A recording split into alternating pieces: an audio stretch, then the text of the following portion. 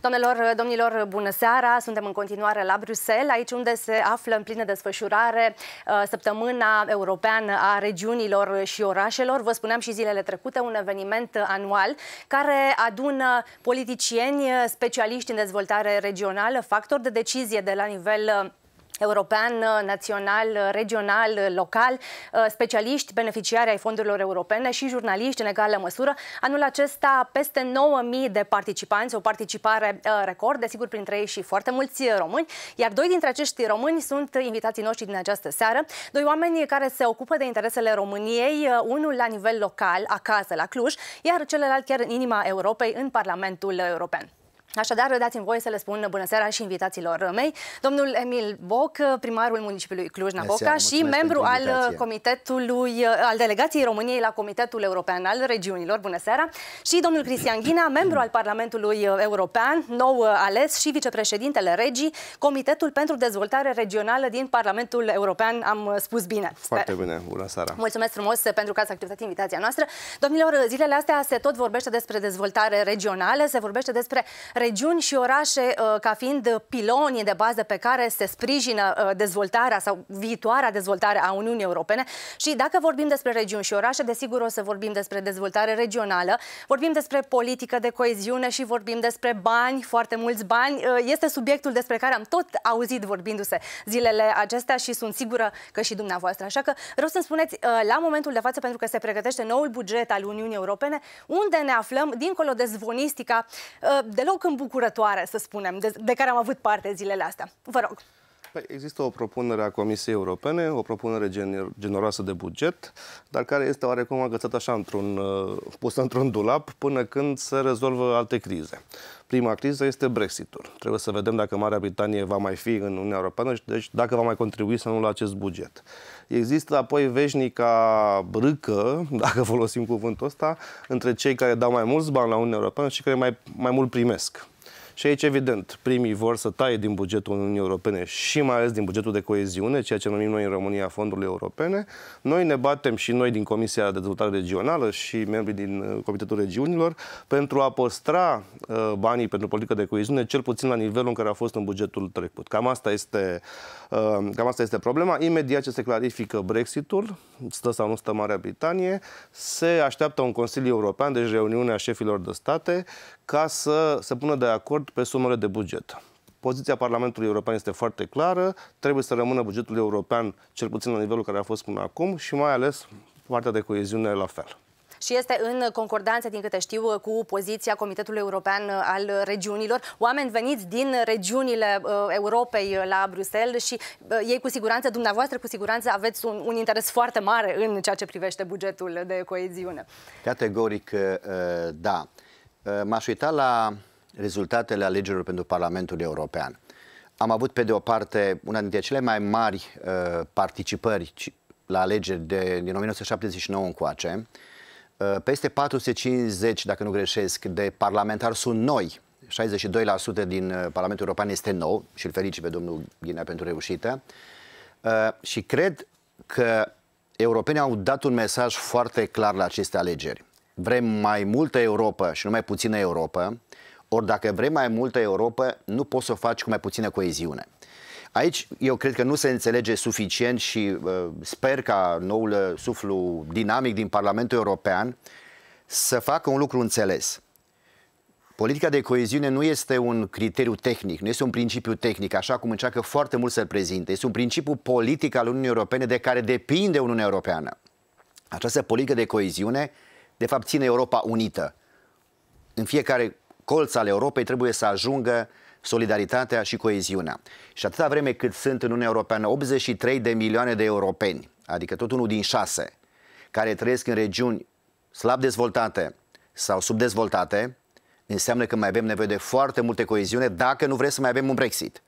Brexitul a fost și o consecință a faptului, pe de o parte, că n-am comunicat bine pe coeziune, pentru cum e posibil să obții o rată mare de ieșire din Uniunea Europeană, regiunile au fost cele mai multe fonduri europene în, în Marea Britanie pe de o parte, iar pe de altă parte, și aici uh, uh, sper ca Parlamentul European, pentru că noi ne bazăm, pentru că aici până la urmă o putere de decizie, Comitetul European a Regiunilor atrage atenția, emite opinii, dar decizia este la Parlamentul European, la Comisie și la uh, Consiliul European. Să nu se diminueze fondurile pentru coeziune, să se păstreze măcar o treime din bugetul Uniunii Europene pentru coeziune, așa cum a fost până acum cum arată astăzi, propunerea Comisiei este o diminuare de cu cel puțin 10%, din motivele Am invocate de domnul Ghina. Unele Între 10 și cifre... 15, cu varianta aia încă optimism din pesimism. Deci primul lucru care trebuie să se înțeleagă este faptul că dacă vrem să avem o Europa cu o singură viteză și nu cu mai multe viteze, dacă vrem ca nimeni să nu mai părăsească țara pentru motive economice, atunci avem nevoie de coeziune. Pentru că asta ce înseamnă? Că ai o calitate a vieții mai bună, apropiată de cea din Uniunea Europeană, la tine acasă. Dacă nu, vom asigura la, vom avea în continuare brain drain, oameni care vor pleca dintr-o parte în alta Europei pentru o viață mai bună, ori politica de coeziune tocmai asta își propune, să diminueze disparitățile și să asigure aceeași infrastructură în educație, în sănătate, în transport, în țara ta, în orașul tău, la fel ca în Uniunea Europeană. De aceea, uh, mesajul nostru de a, din zilele acestea de aici este de a sta cu ochii, cum spun românii, ca pe butelie pe politica de coeziune și ca nou Parlament să nu permită derapaje de la această politică, repet, care este un principiu fundamental al Uniunii Europene. L-am ascultat azi dimineață și dumneavoastră, în egală măsură, pe comisarul Johannes Hahn, vorbind despre acest 1 pe 3 din bugetul Uniunii Europene uh, pentru politica de coeziune. Dar Dumnezeu spunea... Aproape. A, ce am fost aproape. atent la nuanța asta. E o mare diferență de a fi aproape o treime și a fi chiar, o treime. Sau chiar o Până treime. acum a fost o treime. Acum cu diminuarea nu mai este o treime. Și deci se vorbea despre, despre asta. politici uh, egale pentru toate re, uh, regiunile, dar cu focus uh, pe regiunile mai puțin dezvoltate. Și probabil că ăsta este și motivul pentru care uh, țările dezvoltate Uh, nu mai doresc să-și aducă, uh, mă rog, contribuția la, la uh, acest buget. Uh, ieri s-a lansat tot aici la uh, Bruxelles și indexul competitivității regionale pe 2019. Am înțeles că sunt 20, 268 de regiuni luate în calcul. Uh, România, nu știu dacă ați văzut indexul respectiv, România este la minus 1 în totalitate, hașurată cu roz închis pe hartă la oaltă cu Bulgaria, cu Grecia, cu sudul Italiei și cu Spania, apropo de regiunile slab dezvoltate din Europa. Uh, ce înseamnă asta? Că totuși bugetul respectiv despre care vorbim este un buget care va ajunge bine și în România pentru că suntem uh, subdezvoltați? Eu am un punct de vedere foarte clar. Uh, Uniunea Europeană nu va rezista ca entitate pe termen mediu și lung dacă nu va face din eliminarea disparităților regionale un principiu fundamental. Principalul instrument prin care se realizează acest lucru este politica asta de coeziune. Ori dacă acum uh, pe de o parte sunt mai puțini bani, pe de altă parte tot mai multe programe încearcă să ia bani din politica de coeziune să creeze programe noi. Vom adânci disparitățile, iar dacă este să vorbim de regiunea noastră, nu putem aștepta ca în, uh, într-un număr redus de ani să elimine disparitățile între România și Uniunea Europeană. România este parte a Uniunii Europene, este, respectă toate directivele și legislația europeană, constrângerile pe care le avem, dar în același timp trebuie să se aplice și politica, repet, aceasta de coeziune. Ori așa cum arată astăzi exercițiul financiar, vom avea mai puțin bani pentru autostrăzi, pentru centuri ocolitoare, pentru tot ce înseamnă pasaje uh, supra sau subterane în orașe. Îi spun, știți, noi în Uniunea Europeană le avem, de ce să mai finanțăm această mobilitate și infrastructură? Degeaba vrem să facem uh, lucruri uh, care țin de climate change, care sunt extrem de importante, e adevărat. Vrem Dar până ca cetățeanul verde, da. să se gândească să fie preocupat de climate change, el trebuie să asigure infrastructura de bază, de la mobilitate, la școală, grădiniță și sănătate. Dacă aceste lucruri nu sunt măcar la nivel european, degeaba încerc eu să explic ce impact are climate change asupra vieții lui, dacă le spune n-am locuri în, în creșă, în grădiniță, am infrastructură proastă, bugetele locale și naționale prin excelență nu pot acoperi toate nevoile comunității, de aceea banii aceștia din coeziune sunt extrem de importanți pentru eliminarea disparităților ca să putem crea o Europa integrată. Domnule Ghinea? Eu sunt optimist. Sunt optimist pentru că știu forța statelor care sunt prietenii coeziunii. Discuțiile astea au fost și data trecută la precedentul buget și atunci s-au reușit blocarea celor care au intenții de a diminua. Pentru Cine că, vedeți, sunt prietenii coeziunii, vreau să-mi spuneți? În principal statele din Est. În principal statele din Est, care au reușit data trecută sub o isteață uh, conducere a Poloniei, la care s-a aliat și România la, la momentul respectiv, să construiască această alianță și să amenințe cu blocarea bugetului european dacă se reducea, uh, se reduceau sumele pentru coeziune. Cred că se, po- se poate întâmpla la fel.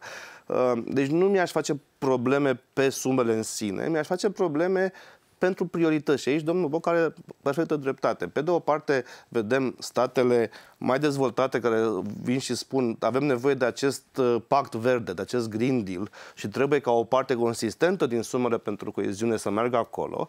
Pe de altă parte, e greu într-o țară ca România, unde avem încă probleme, avem sute de, de școli, sute pe fiecare regiune de școli cu toaletă în fundul curții, exact. să zici, domne, noi avem pe, pe partea de, de schimbări climatice. Este aici o tensiune normală la care asistăm permanent la Bruxelles și eu cred că vom convinge uh, partenerii noștri să a, să uh, aloce flexibilitate României și celorlalte state astfel încât să mergem pe interesele noastre de dezvoltare. Însă, aici este o problemă serioasă, pentru că nu avem foarte multe argumente de acasă cel puțin în România, de succese foarte, foarte vizibile cu fonduri europene.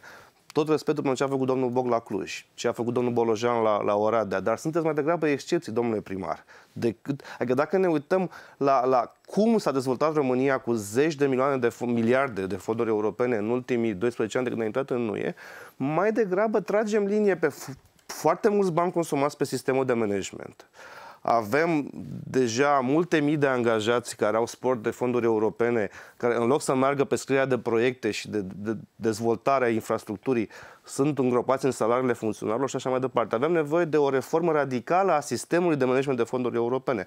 De pildă, am creat aceste agenții de dezvoltare, de dezvoltare regionale. De ce nu le facem autorități de management? Pentru că puterea lor este foarte mică am văzut ce, ce face domnul Boc împreună cu alți primari din Ardal, această alianță a O să ajungem, desigur, și la Cu mare părere de rău, dacă nu se schimbă sistemul de management acasă, nu veți putea să faceți ce, ce vă propuneți. E nevoie ca un viitor guvern din România și sper ca noi USR împreună cu PNR să construim această, să venim cu o gândire reformistă, să, să schimbăm radical, curajos sistemul de management al fondurilor europene, astfel încât să eliberăm autoritățile județene, locale, regionale de tirania, și o spun foarte că tirania Bucureștiului, pentru că nu e vorba că la București sau nu, eu sunt bucureștean, deci, Doamne ferește, sufăr, sufăr când văd cum se prăbușește rețeaua de termoficare de fonduri europene ă, din, din București, pentru care aveam fonduri prevăzute în acordul de parteneriat, cum aveți și la Cluj, cum este și la Oradea. Unele orașe au putut să facă chestia asta administrația Bucureștiului nu. Mă bucur că ați adus și, vorba, și este foarte important, asta este ultima, ultima idee, hai să facem un fel de alianță reformistă în sistem, pentru că altfel nu o să avem argumente să spunem, domne, ce ai făcut în România cu banii ăștia? Am făcut și lucruri bune, dar mai degrabă excepții. Nu o să meargă la infinit această retorică. Mă bucur că ați adus în discuție... Trebuie să, trebuie să intervin și rog, o secundă. Acesta este argumentul pe care îl primim în față atunci când încercăm să ne batem pentru mai mulți bani. Ce spune ce a spus domnul Ghinea? Domnule, se uită și spune, dar România nu a reușit să utilizeze toate fondurile pentru autostrade, de ce vreți mai mulți uh, bani în exercițiu financiar pentru mobilitate? Și atunci, într-adevăr, este dificil să spui de ce ai nevoie de mai mulți bani. Dar întotdeauna le spun să nu aruncăm uh, uh odată cu apa din covată și copilul. Dacă un guvern, unul sau altul care o fi fost, și mai ales guvernul actual, n-a reușit performanța de a aduce toți banii europeni uh, necesari pentru modernizarea infrastructurii, nu înseamnă să penalizăm România viitoare și guvernele viitoare cu șansa de a moderniza această țară. Și aici soluțiile, uh, domnul Mine ca ministru, domnul Ghinea ca ministru le-a și identificat. Dacă polonezii au reușit să facă regionalizare și și-au multiplicat motoarele de dezvoltare regională și au regiunile contact direct cu Bruxelles și atrag bani, nu mai prin, merg prin guvernul de la Varșovia, asta propune și domnul Ghinea. Aceste agenții regionale care deocamdată uh, le putem transforma în, în entități care să managereze programele operaționale sectoriale, asta ar însemna că vom avea un colaborator direct pentru fonduri europene cu Bruselul, fără să mai merge prin guvernul central. Deci noi pierdem extraordinar de multe resurse și ne alocăm mult timp birocratic, mergând prin acest ciclu local, național, Bruxelles, când se poate merge direct de la nivel regional la Bruxelles. Iar Polonia este exemplul ideal. Și cred că un viitor guvern nu va mai putea ocoli această, această soluție pentru că ea este la îndemâna noastră. Și desigur avem exemplele de bune practici și în România, din păcate foarte răzlețe. Clujul este unul dintre aceste exemple pentru că ați reușit în exercițiul financiar 2014-2020 să atrageți o sumă foarte mare de de fonduri europene, dacă nu greșesc, 420. Da, și voiam să vă întreb, de fapt, uh, la dumneavoastră a reușit uh, această, această treabă. De ce nu se reușește în toată România? Pentru că, până la urmă, se pare că vorbim și în cazul unui stat membru, România, despre o Românie cu două viteze, adică se poate vorbi și despre așa ceva, pentru că sunt zone puține care se dezvoltă bine în România și zone, majoritatea, care se dezvoltă foarte greu. Eu aș completa doar spunând că de aceea am constituit și Alianța Vestului de a aduce mai mulți bani europeni în România. Adică dacă regionalizarea nu s-a făcut de sus în jos și de centralizare, o facem noi de jos în sus, pentru că această alianță își propune exact ce ați menționat dumneavoastră. Cum putem aduce mai mulți bani în România pentru a fi utilizați în infrastructură, în sănătate, în educație, în mobilitate, în inovare, cercetare, tehnologie, pentru că aceste resurse există, dar nu avem instrumentele necesare. La fel trebuie să-i dau dreptate domnului Ghinea. Dacă Guvernul Național, în negocierile pe care le poartă cu Comisia Europeană, nu va fi de acord ca aceste entități să poată fi eligibile, din nou vom rămâne blocați în filtrul central. Și, uh, da, vă rog. și aici am un, un semnal de alarmă de tras. Știți că au început discuțiile pentru viitorul acord de parteneriat? Nu, știu, nu prea știe nimeni în România chestia asta. Ministerul Fondurilor Europene, la un nivel tehnic, a creat niște grupuri, grupuri de, de lucru. lucru. Acolo este un nivel prea mic. Această dezbatere este una politică în sensul cel mai bun al cuvântului. Trebuie ca oameni, oameni politici care pot să schimbe în țara asta lucrurile să stea la masă, să discute, domnule, ce nu a mers până acum, cum putem să venim cu o schimbare radicală a sistemului, pentru că altfel dacă acest proces de, de, care presupune o dezbatere privitoare la câteva zeci de miliarde de euro care vor veni până în 2027, de fapt până în 2030 da, în, plus în România. Plus, plus, plus, plus 2, da. Deci este o dezbatere absolut vitală pentru viitorul României, care se duce la un nivel tehnic, la Ministerul Fondurilor Europene. Este acolo un director care invită pe alții de la alte ministere. Este inacceptabil și evident că toți suntem obsedați de moțiune de, de cenzură, de scandalul, ce a mai zis Viorica Dăncilă, ce comisar mai trimite la Bruxelles, în loc să dezbatem chestiunea asta foarte serioasă, pentru că altfel dacă lăsăm birocrația de capul ei, domnule Boc, Așa este. vor Așa face, este. știi cum este, era bancul ăla cu inginerul sovietic care orice să apucă tot tancul iese. Cam așa și ăștia, oricum se vor apuca, tot același ameuri hipercentralizate le vor ieși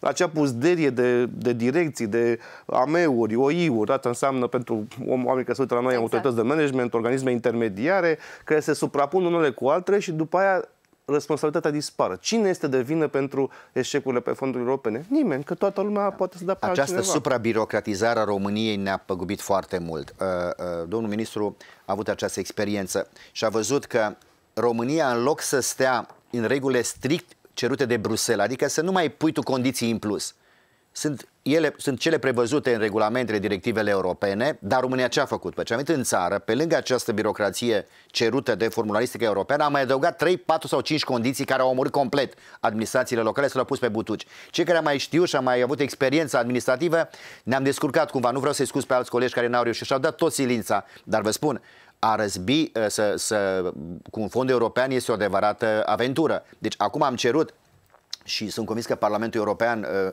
poate va reuși, nu știu că e posibil, să pună o prevedere că legislațiile naționale să nu mai adauge nimic la regulile europene. Adică dacă toți suntem toți în Uniunea Europeană, aceleași reguli pentru toți. România vă asigur că are cu cel puțin 20% mai multe condiții puse în diverse programe operaționale decât regulile cerute de către Uniunea Europeană. Pentru că cei de la Bruxelles spun, da, e Guvernul Național care va cerut asta în plus. Ei au pus acolo, nu e treaba noastră. De ce vă plângeți la Bruxelles de faptul că nu duceți fonduri europene pentru că voi v-ați spus condițiile prin statul membru acasă. Sper ca, uh, într-adevăr, un viitor guvern să meargă pe această flexibilizare, descentralizare și uh, capacitate de a elimina această birocrație stufăr, uh, cu mult sufăriș în preajmă. Aș mai face și eu o glumă, spunând, uh, spunea domnul Ghinea de exemplu cu Tancu. Uh, eram și eu la o dezbatere la Comitetul European a Regiunii și discuția despre buget. Brexitul înseamnă o pierdere de 10, 11 miliarde de euro, 12 miliarde de euro uh, din bugetul Uniunii Europene. Și se punea întrebarea, cum putem face să ne menținem același nivel al bugetului european dacă pleacă Marea Britanie? Să sperăm că poate nu pleacă. Eu tot cred că poate până la urmă se va găsi o soluție politică înțeleaptă ca acest accident uh, Brexit să nu se întâmple, că e o situație în care toată lumea pierde, categorii. Și atunci uh, un coleg a venit și a spus din Italia așa, știți, eu vă propun soluția cappuccino. Toți ne-am uitat la el, soluția cappuccino, este așa. Astăzi fiecare cetățean al Uniunii Europene plătește în fiecare zi prețul unui expreso la bugetul Uniunii Europene. De 500 de milioane de cetățeni europeni plătesc pe zi prețul unui expreso la bugetul Uniunii Europene. Păi dacă pleacă Marea Britanie, să păstrăm cel puțin același nivel al bugetului, fiecare cetățean al Uniunii Europene trebuie să plătească nu prețul unui expreso, ci prețul unui cappuccino. Bineînțeles, după aceea a început discuția la unde e prețul de referință pentru cappuccino. Dar cam asta ar însemna diferența ca statele membre să-și asume menținerea cel puțin la același nivel al, al bugetului. Da, domnul Ghinea a menționat corect. Sunt state precum țările nordice, uh, Austria, dacă nu greșesc și Germania la un moment dat, care nu vor să Danemarca, uh, Danemarca, țările nordice în integralitate, exact. am spus, da? care nu vor. E, aici trebuie să se înțeleagă că nu poți, lua, nu poți lua numai spuma și lăsa partea cealaltă de altă parte. Europa este împreună și șansa acestei construcții politice fără egal în istoria Europei trebuie să fie asigurată printr-o decizie înțeleaptă. Domnilor, vă mulțumesc foarte mult. Cu Ar mai fi plăcere. fost multe subiecte de discuție, dar pentru ele vă așteptăm în studioul de la Timișoara data viitoare. Uh, mulțumesc mult că ați acceptat invitația noastră. Mulțumesc și dumneavoastră Mulțumim. pentru că ne-ați uh, urmărit. O seară plăcută în continuare. La revedere!